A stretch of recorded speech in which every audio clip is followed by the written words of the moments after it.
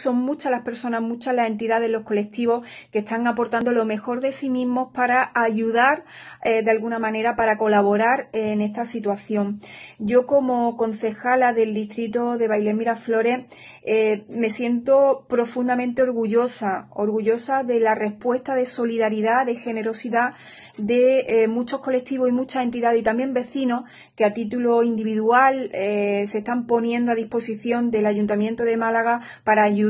para colaborar y para aportar lo que tienen. Hablamos de colectivos eh, que se han puesto rápidamente a trabajar para fabricar eh, mascarillas y elementos de protección. Eh, hablamos de comercio, de restaurantes que, bueno, pues están aportando lo que tienen para ayudar a esas familias también más vulnerables o como colectivos que se han sumado al esfuerzo del ayuntamiento en ese reparto de alimentos, en ese reparto de, de atenciones de primera necesidad a familias que lo están pasando especialmente mal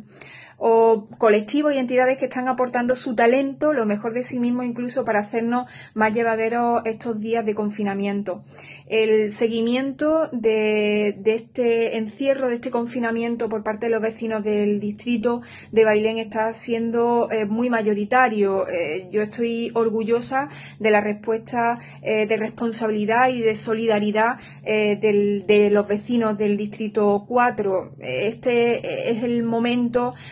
el, único, la única forma que tenemos para ayudar, para colaborar y sobre todo para salvar vidas. En definitiva, eh, me gustaría agradecer, agradecer de todo corazón a, no solamente al personal municipal que están eh, dejándose la piel en estos días, sino también a todos los colectivos, todas las entidades, todos los vecinos del distrito de Bailén Miraflores eh, que, como digo, están aportando lo mejor que tienen y ayudando a este ayuntamiento para eh, atender lo máximo posible y para dar respuesta urgente a todas esas necesidades, no solo sanitarias que están surgiendo, sino también de emergencia social. Muchísimas gracias a todos.